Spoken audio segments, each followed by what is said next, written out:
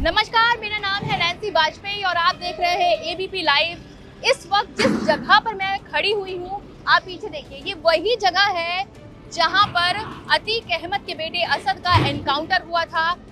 यहाँ पर ये जो हाईवे है, ये कानपुर हाईवे है।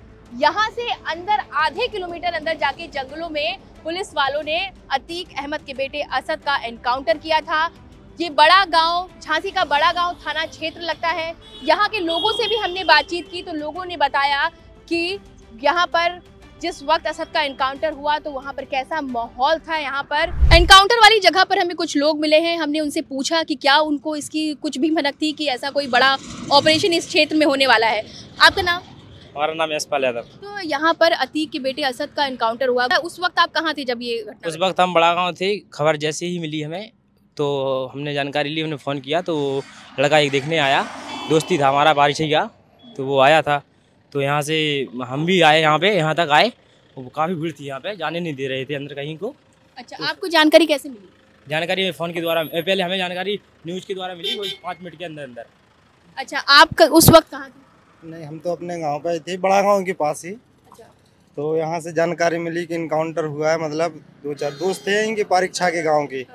तो उन्होंने बताया तो फिर हम लोग यहाँ आए देखने। एनकाउंटर होने वाला था ऐसी कोई घटना तो आप लोगों को कभी कोई- ऐसा कुछ आभास हुआ कि यहाँ कुछ बड़ी घटना होने वाली है? पुलिस की गश्त कुछ ऐसा कुछ नहीं वो हाल ही करा जैसे इनकाउंटर होने वाला उससे पहले थोड़े ही पहले पुलिस की जब आप यहाँ इनकाउंटर होने के बाद जब खबर मिली जैसे यहाँ आए तो आपने पहली चीज़ यहाँ पे क्या देखी? पुलिस की काफ़ी काफ़ी पुलिस काफ़ी भीड़ भी थी काफ़ी भीड़ थी कम से कम बहुत लोग थे और अंदर जाने नहीं दे रहे थे पुलिस वाले कह रहे थे यहाँ से कुछ नहीं जाओ जाओ।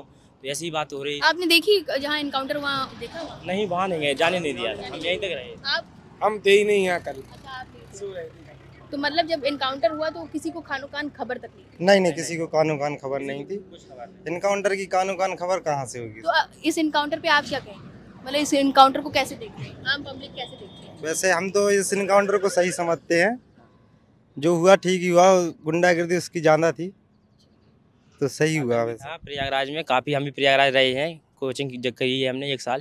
अच्छा तो कैसा आतंक कैसा चीज़ क्या चीज़ आपने वहाँ खौफ था उनका काफ़ी खौफ था। वहाँ पे जनता जो समझ लो उनके नाम से ही खौफ बहुत खौफ था उनके। अभी प्रेजेंट टाइम में एक उमेश पाल हत्याकांड का जो भी उनको दे बताया जा रहा था इन लोगों का हाथ था उसमें। तो अब कह बता तो सकते नहीं वहाँ पे वहाँ पे थे नहीं हम। तो लेकिन सुना था और इतनी चल रही थी तो पता नहीं और इधर एकदम जानकारी मिली कि इधर मतलब हो गया।